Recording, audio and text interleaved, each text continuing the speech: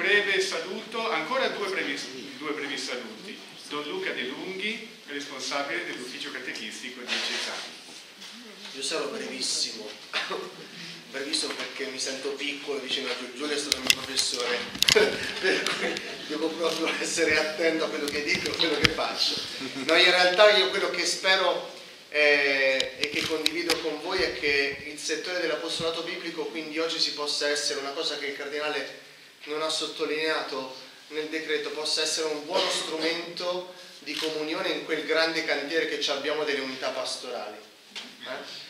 Eh, l'ho visto nel senso in, in, Fieri, nel primo incontro che abbiamo fatto eh, condividendo un pasto insieme, un po' progettando quello che poteva essere anche questo incontro e quello che, che mi aspetto veramente anche nella collaborazione con l'ufficio catechistico e gli altri uffici di tutto quell'elenco che ha messo il cardinale lì in quel decreto è veramente la possibilità di mettere insieme una diocesi che tante volte sembra eh, frantumata, frastagliata, così tanto distante. Eh, siamo in realtà una piccola diocesi, anche se siamo così tanto eh, espansi eh, territorialmente, però abbiamo bisogno di avere un ponte e veramente la, la parola può essere questo una, uno, una via di comunione in quello che è la realtà che stiamo vivendo. Grazie.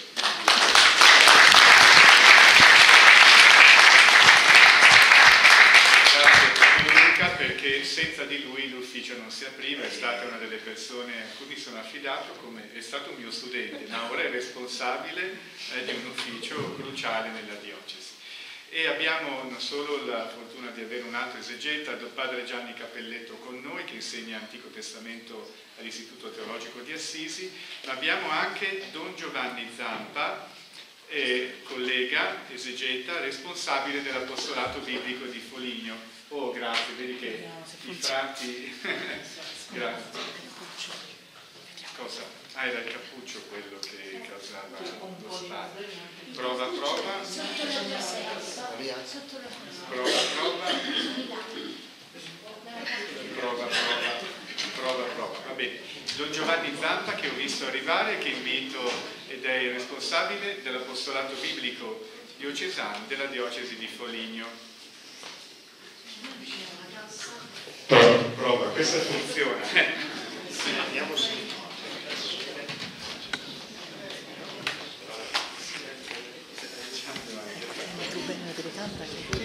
Rischio che facciamo un po' di Buonasera. Allora io per formazione professionale non posso che trovare due icone bibliche per dirvi quello che è la situazione. A me è stato chiesto di parlarvi dell'apostolato biblico in regione perché sarei pectore responsabile della regione. Vescovi non si sono incontrati. Ecco, ma, ok, io quindi ho due immagini bibliche. Il prima la prendo dal libro della Genesi, al capitolo, al capitolo 2, versetto 10. Dice, un fiume da Eden per, usciva da Eden per irrigare il giardino, poi lì si divideva e formava quattro corsi. Il primo fiume si chiama Pison, esso scorre attorno a tutta la regione di Avila, dove si trova l'oro, e l'oro di quella regione è fino. Vi si trova pure la resina odorosa e la pietra donice. Il secondo fiume si chiama Gikon, esso scorre attorno a tutta la regione di Etiopia. Il terzo fiume si chiama Tigri e soscorre a oriente di Assur, il quarto fiume è l'Eufrate. Ecco, il grande fiume della parola di Dio nella nostra regione potremmo dire scorre su quattro canali, si divide almeno in quattro corsi. Il primo è il magistero dei nostri vescovi, perché una cosa interessante è che negli ultimi vent'anni tutte le diocesi dell'Umbria hanno fatto un sinodo e se noi andiamo a leggere tutti questi sinodi sono impregnate di Sacra Scrittura e soprattutto esortano caldamente a mettere al centro dell'attività pastorale di ogni forma di apostolato la Sacra Scrittura. Il secondo fiume è l'Istituto Teologico di Assisi e le grandi forme accademiche che ci sono in tutte le regioni dell'Umbria. Qui, se ci avete fatto caso, nei primi due versetti si parla proprio di regione Ecco, in regione, oltre all'Istituto Teologico e alla Scuola di Scienze Religiose, praticamente tutte le diocesi hanno scuole diocesane di teologia, dove sono presenti corsi di approfondimento esegetico e teologico. Nonché c'è un altro aspetto molto interessante a livello regionale, negli ultimi anni, e noi ne siamo un po' anche il frutto, tutte le regioni dell'Umbria hanno investito sacerdoti nello studio delle scienze bibliche, o uh, teologia biblica o sacra scrittura esegesi. E quindi questo è un altro patrimonio dell'apostolato biblico da, da tenere in considerazione.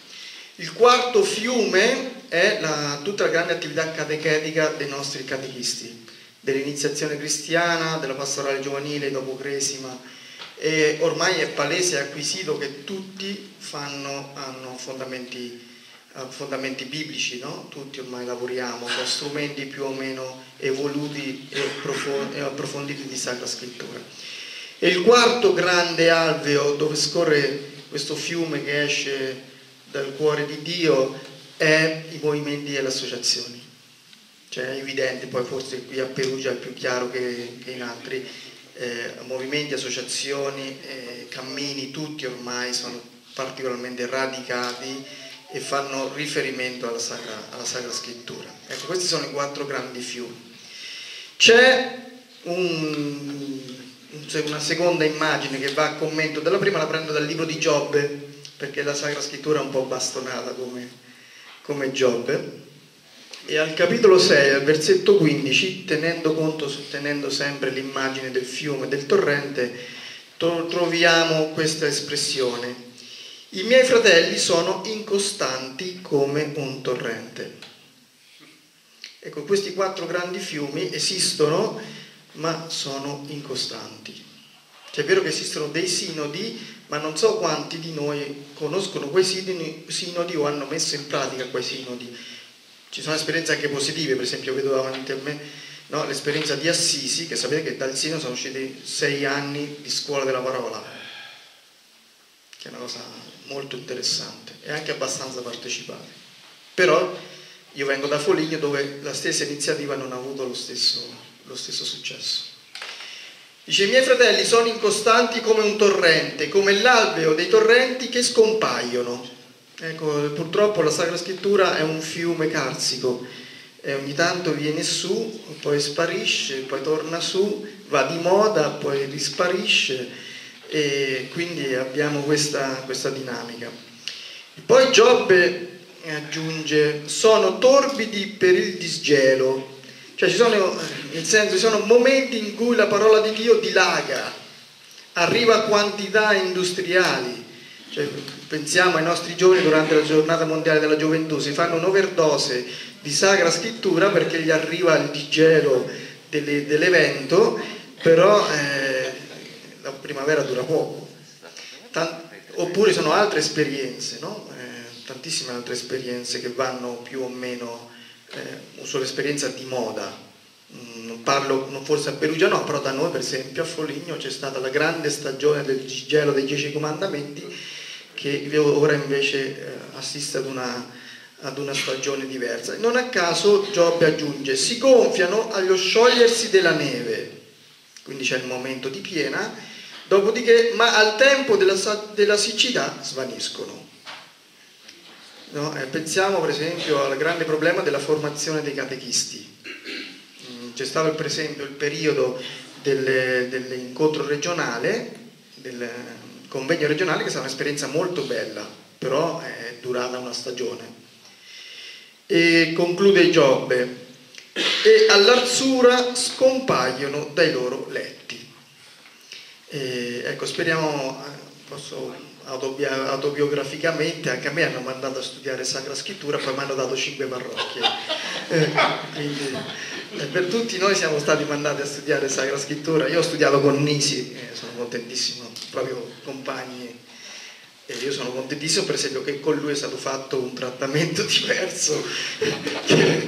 ecco perché... Ehm, no, nel senso, io poi ringrazio tantissimo la pastorale perché mi ha dato modo, adesso abbiamo avuto un'esegesi di Giovanni e di Matteo non più, non più che ispirata, no? la parola veramente si è fatta carne, quindi più, di, più esegesi Dio nessuno l'ha mai visto, ma Dio ce lo ha esegetizzato, ce ne ha fatto l'ermeneutica, quindi, quindi grazie di questa esegesi. Quindi ringrazio tantissimo la pastorale, però c'è oggettivamente un problema di studio, per questo è importante l'apostolato biblico, perché molto spesso la dimensione pastorale cancella l'approfondimento esegetico e teologico e quindi in Umbria abbiamo un buon letto, ma qualche volta è un letto che diventa un buon fiume, ma qualche volta diventa un rigagnolo.